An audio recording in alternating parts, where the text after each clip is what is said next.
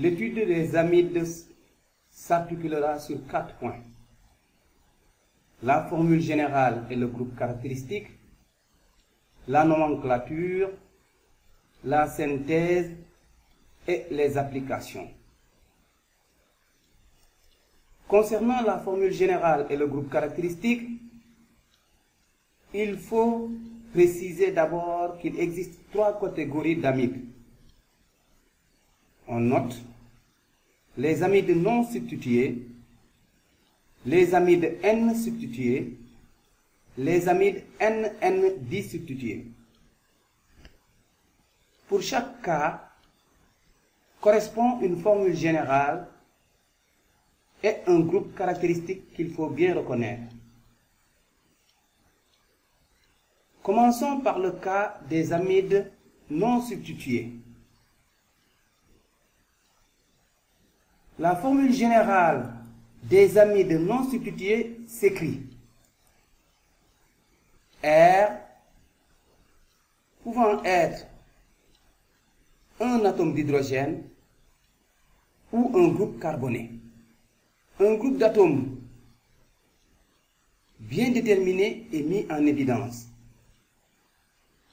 Ce groupe d'atomes est le groupe caractéristique des amides non substitués. Comparez le groupe caractéristique des amides à celui des acides carboxyliques. Vous constatez que le groupe amine primaire a remplacé le groupe hydroxyle du groupe carboxyle. Voyons la formule générale des amides N substitués. Elle s'écrit avec R pouvant être un atome d'hydrogène ou un groupe carboné. R1 ne peut être qu'un groupe carboné.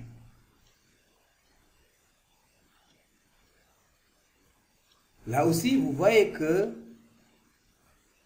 qu'un groupe d'atomes bien déterminé est mis en exergue. Ce groupe d'atomes est le groupe caractéristique des amides N substitués. Le groupe hydroxyle du groupe carboxyle est remplacé par le groupe amine secondaire.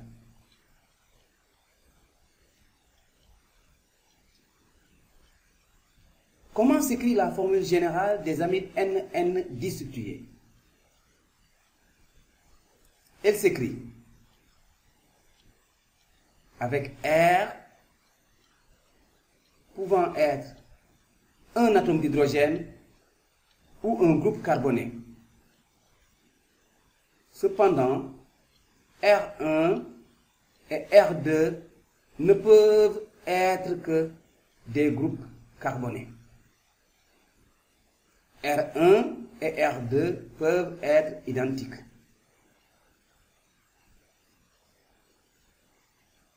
Dans la formule générale, un groupe d'atomes bien déterminé est mis en évidence. Ce groupe d'atomes est le groupe caractéristique des amides NN disubstitués. Le groupe amine tertiaire a remplacé le groupe hydroxyle du groupe carboxyle.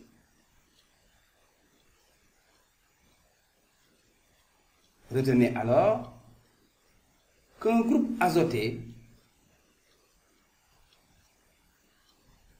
lié à un groupe carbonyle permet d'affirmer que le composé organique considéré est un amide. Que le groupe amine primaire ou amine secondaire ou bien même amine tertiaire liés au groupe carbonyle permet de catégoriser un amide. Ainsi, un amide est un dérivé d'acide carboxylique.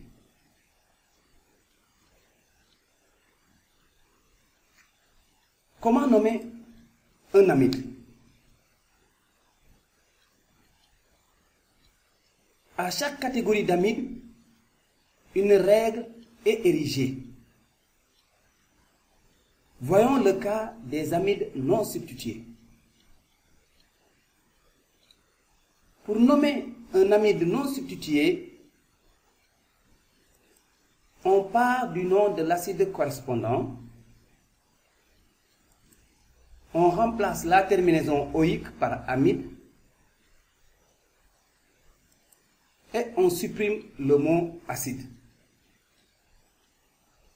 Pour bien appliquer cette règle, il faut bien distinguer la partie dérivée de l'acide carboxylique correspondant. Si R est un groupe alkyle ou un atome d'hydrogène, l'acide carboxylique est un acide alcanoïque.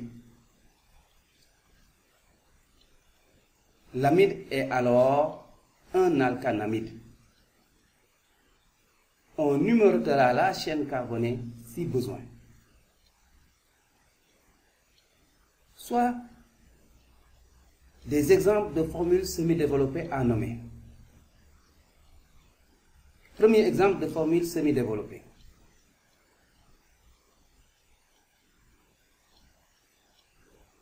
Voilà la partie dérivée de l'acide carboxylique.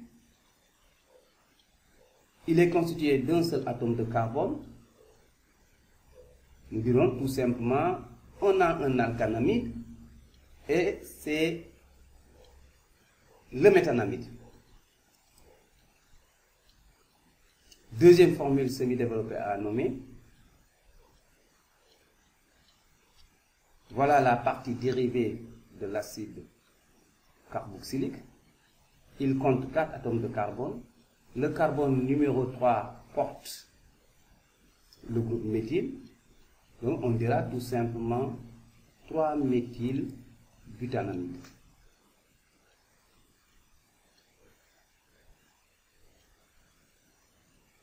Passons à la nomenclature des amides N substitués.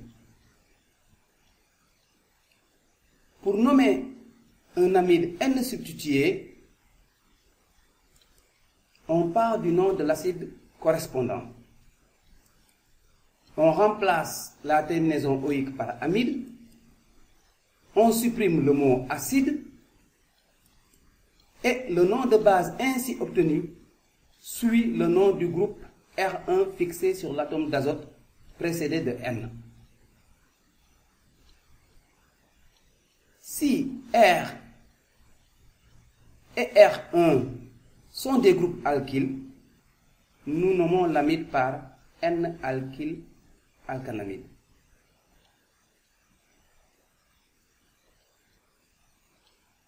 Deux exemples de formules semi-développées à nommer. Premier exemple de formule semi-développée. Voilà. Nous avons la partie dérivée, donc un alcanamide, méthanamide, groupe méthyle, on dira tout simplement N-méthyl méthanamide. Deuxième formule semi-développée à nommer, partie dérivée, acide alcanoïque. Alors, comptant deux atomes de carbone, éthanamide. Le groupe éthyle, on dira N-éthyl éthanamide.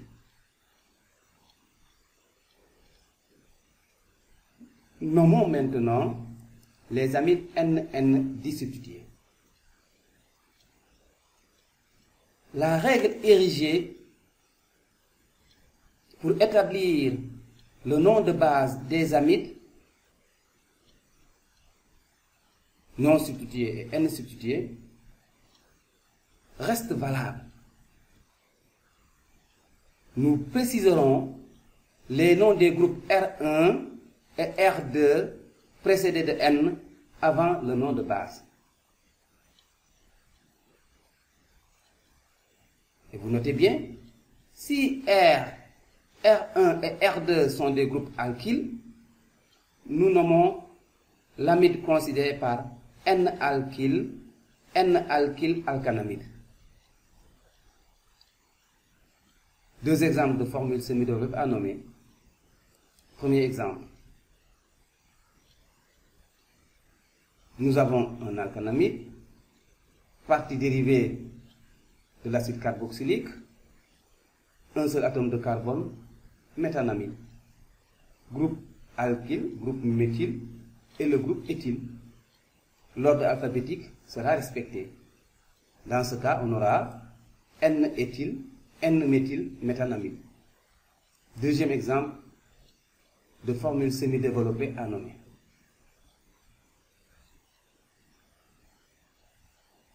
Partie dérivée de l'acide carboxylique. Nous dirons tout simplement donc propanamide. Deux groupes méthyl. Alors, on fera précéder de di. Nous dirons tout simplement NN diméthyl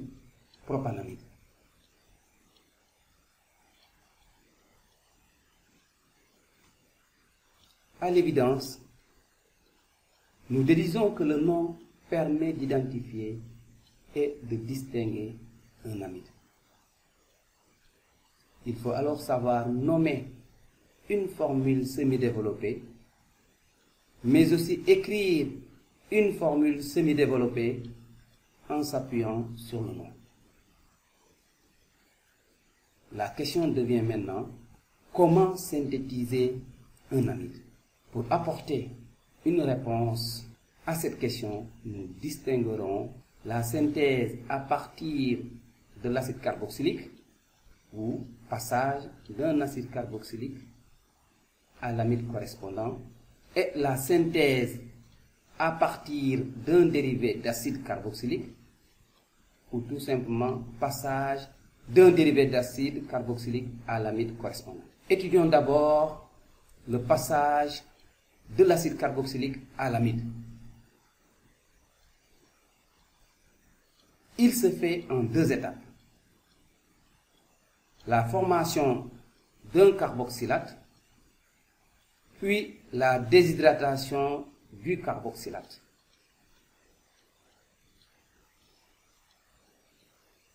Dans la progression, nous aborderons d'abord la synthèse d'un amide non substitué, ensuite celle d'un amide N substitué, et nous terminerons par celle d'un amide NN disubstitué.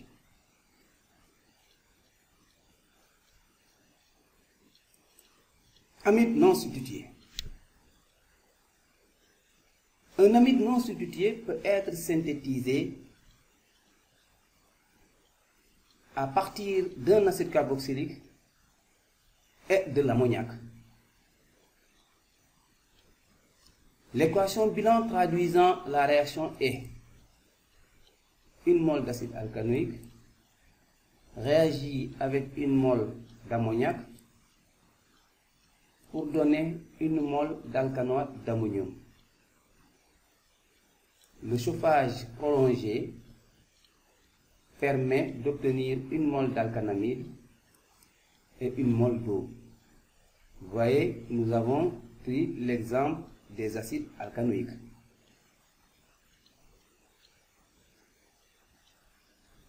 Que constatez-vous?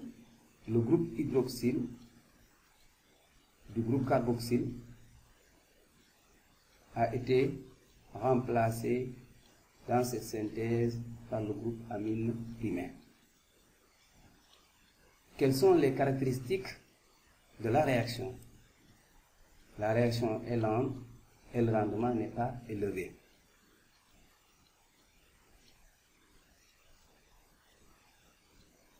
Maintenant, voyons la synthèse d'un amide N substitué à partir d'un acide carboxylique et d'une amine primaire.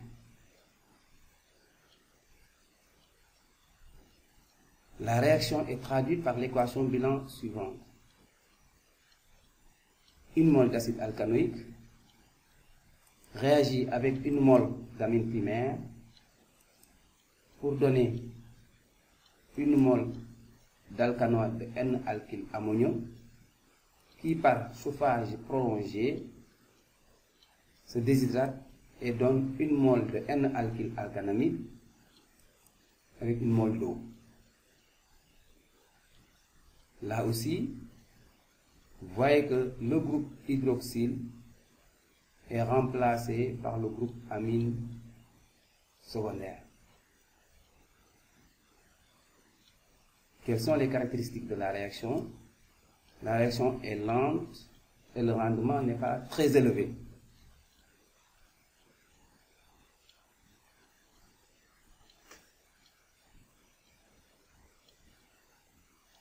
Comment synthétiser par un amide NN substitué? Un amide NN substitué peut être synthétisé à partir d'un acide carboxylique et d'une amine secondaire. L'équation bilan de la réaction est une mole d'acide alcanoïque réagit avec une mole d'amine secondaire pour donner une mole d'alcanoate de N-alkyl N-alkylammonium qui par chauffage prolongé, se déshydrate et donne une mole de N-alkyl N-alkanamide plus une mole d'eau. Le groupe hydroxyle a été effectivement remplacé par le groupe amine tertiaire.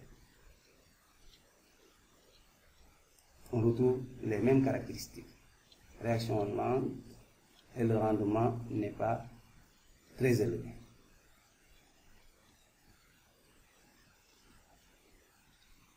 Retenez que le passage d'un acide carboxylique à un amide se fait en deux étapes. La réaction est lente et le rendement n'est pas élevé. Ce passage met en évidence des propriétés chimiques des acides carboxyliques un acide carboxylique réagit avec l'ammoniac pour donner un amide non substitué.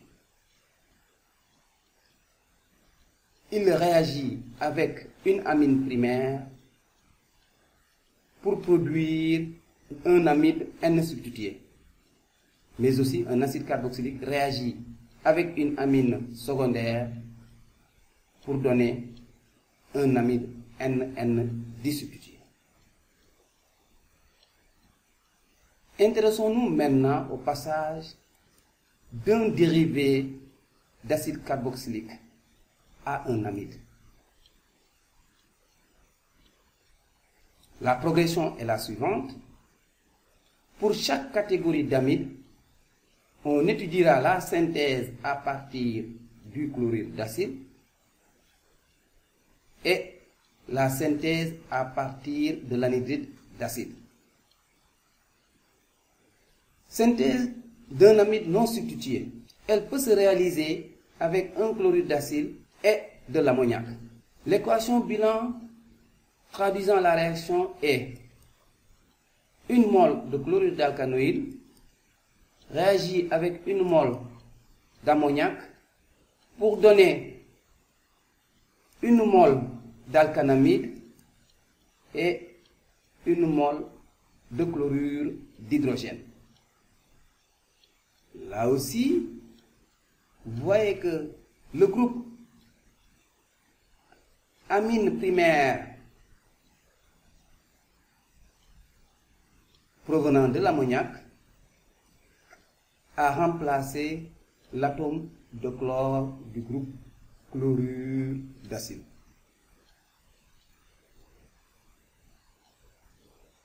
Quelles sont les caractéristiques de la réaction? La réaction est rapide et totale avec un bon rendement.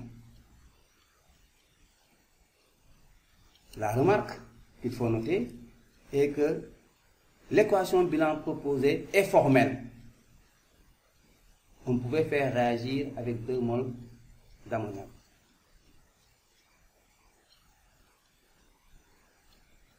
Toujours synthèse d'un amide non substitué, mais cette fois-ci à partir d'un anhydride d'acide et de l'ammoniac. L'équation bilan qui traduit cette réaction est une mole d'anhydride réagit avec une mole d'ammoniac pour donner une mole d'alcanamide et une mole d'acide alcanoïque. Là, vous voyez nettement qu'on a travaillé avec un anhydride symétrique.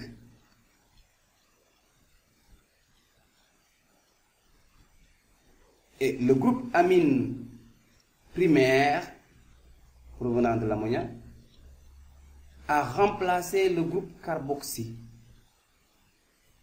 de l'anhydride. S'il s'agissait d'un anhydride mixte, on aurait un mélange de deux alcanamides et de deux acides carboxyliques. Rappelez-vous qu'un anhydride mixte dérive de deux acides carboxyliques différents. Quelles sont les caractéristiques de la réaction? La réaction est rapide et totale avec un bon rendement. La remarque, nous avons proposé ici une équation bilan formelle. Elle est admise. Passons maintenant à la synthèse des amides N substitués. Il peut être synthétisé à partir d'un anhydride d'acide et d'une amine primaire. L'équation bilan est une mole d'anhydride éthanoïque réagit avec une mole d'amine primaire pour donner une mole de N-alkyl alcanamide et une mole d'acide alcanoïque. Même constat, le groupe amine secondaire a remplacé le groupe carboxy de l'anhydride symétrique. S'il s'agissait d'un anhydride mixte, on aurait un mélange de deux amides et de deux acides carboxyliques. Caractéristique de la réaction, elle est rapide et totale avec un bon rendement. Remarque, l'équation bilan proposée est une équation bilan formelle. Un amide N substitué peut être synthétisé à partir d'un chlorure d'acide et d'une amine primaire. L'équation bilan traduisant la réaction est la suivante. Une mole de chlorure d'alcanoïde réagit avec une mole d'amine primaire pour donner une mole de N-alkyl alcanamide et une mole de chlorure d'hydrogène. Là aussi, l'atome de chlore du groupe chlorure d'acide est remplacé par le groupe amine secondaire.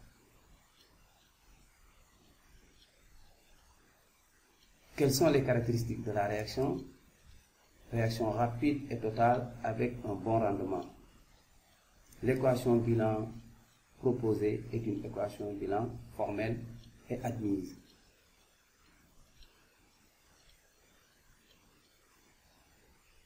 Sous production d'une amide NN disubstituée. Un amide NN disubstitué peut être synthétisé à partir d'un chlorure d'acide et d'une amine secondaire. L'équation bilan est une mole de chlorure d'alcanoïde réagit avec une mole d'amine secondaire pour donner une mole de N-alkyle N-alcanamide et d'une mole de chlorure d'hydrogène. L'atome de chlore du groupe chlorure d'acide est remplacé par le groupe amine tertiaire. La réaction est rapide et totale avec un bon rendement. Toujours, nous proposons une équation bilan formelle. Dernière synthèse, la synthèse toujours d'un amide NN substitué, mais cette fois-ci à partir d'un anhydride d'acide et d'une amine secondaire. La réaction est traduite par l'équation bilan. Une mole d'anhydride alcanoïque réagit avec une mole d'amine secondaire pour donner une mole de N-alkyle N-alkyle alcanamide et d'une mole d'acide alcanoïque. Nous avons un anhydride symétrique. Le groupe carboxylique est remplacé par le groupe amine tertiaire. S'il s'agissait d'un anhydride mixte, on aurait un mélange de deux amides et de deux acides carboxyliques. La réaction est rapide et totale avec un bon rendement. Nous avons proposé ici une équation bilan formelle qui est admise. Retenez que, premièrement, le passage d'un dérivé d'acide à un amide est rapide et total avec un bon rendement. Deuxièmement, ce passage met en évidence des propriétés chimiques des chlorures d'acide et des anhydrides d'acide. Troisièmement, il existe trois méthodes de synthèse d'un amide. La synthèse avec l'acide carboxylique, la synthèse avec le chlorure d'acide et la synthèse avec l'anhydride d'acide. Pour chaque méthode, l'ammoniac permet de produire un amide non substitué, une amine primaire permet de produire un amide N substitué et une amine secondaire produit un amide NN disubstitué. Quelle est l'importance de ces synthèses? Les amides sont beaucoup plus employés et ou synthétisés dans l'industrie. Plus précisément dans l'industrie pharmaceutique et dans l'industrie du textile. Illustrons par deux exemples. Dans l'industrie pharmaceutique, les amides sont des principes actifs de certains médicaments. Par exemple, le paracétamol ou para-acétaminophénol. C'est un médicament qui atténue la sensibilité à la douleur. sa formule semi-développée s'écrit. Et dans cette formule semi-développée, vous identifiez le groupe amide N substitué. Et la partie dérivée de l'acide carboxylique, qui est l'acide éthanoïque. L'industrie pharmaceutique synthétise le paracétamol en utilisant alors l'anhydride éthanoïque et le 4 amino 1 hydroxy benzène ou para-aminophénol. L'équation du bilan, de synthèse est la suivante. Une mole de para-aminophénol ou 4 amino 1 hydroxy benzène réagit avec une mole d'anhydride éthanoïque ou anhydride acétique pour donner une mole de paracétamol et une mole d'acide éthanoïque. Voilà une proposition d'équation bilan qui nous rappelons est formelle.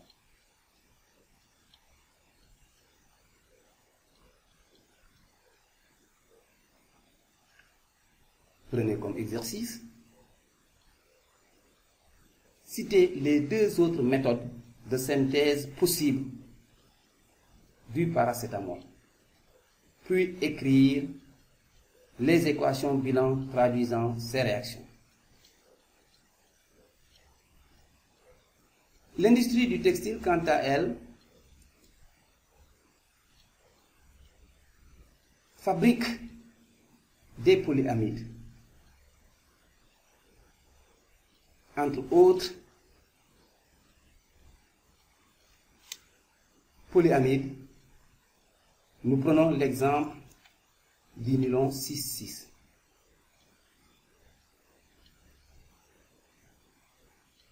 Le nylon 6,6 est synthétisé à partir de l'hexane 1,6-diamine et du chlorure d'hexane 1,6-dioïle. Vous constatez que ces deux molécules ont chacune 6 atomes de carbone, d'où l'appellation 6,6. Sa synthèse au laboratoire se fait comme suit.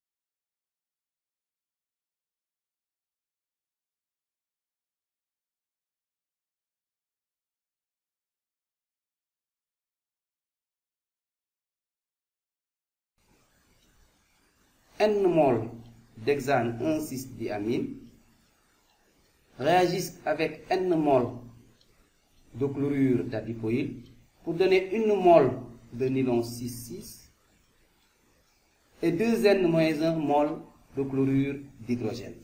Arrêtons-nous un peu ici. Voyez que ce qui est à l'intérieur de l'encadré représente le motif.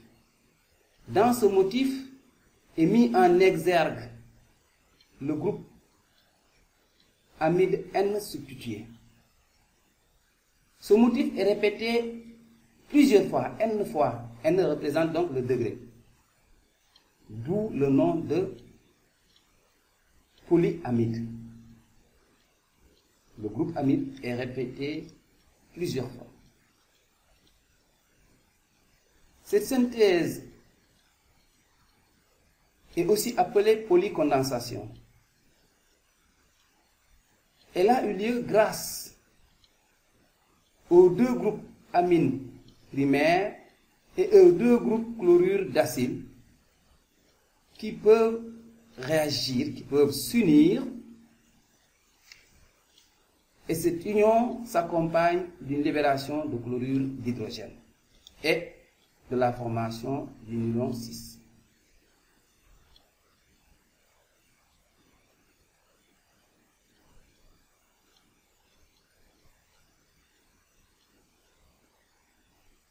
Le chlorure d'adipoïle peut être remplacé par un diacide carboxylique, par exemple l'acide hexane 1,6-dioïque. C'est-à-dire la synthèse peut se faire à partir d'un acide carboxylique. Le nylon 6,6 est utilisé dans la fabrication de doublures et blouses, de tabliers et vêtements de sport, d'imperméables et chaussettes. À travers ces deux exemples, entre autres exemples, nous mettons en évidence l'importance des amides dans la vie courante. Comme les acides carboxyliques, les chlorures d'acide et les anhydrides d'acide,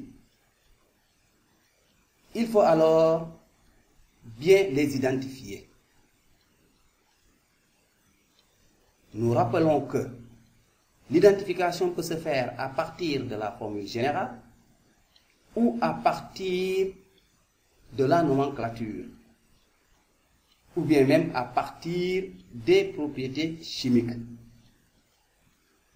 Le point de départ est la formule générale et le groupe caractéristique. Ainsi, nous vous proposons un tableau récapitulatif où sont consignées toutes ces fonctions chimiques avec leur formule générale et leur groupe caractéristique.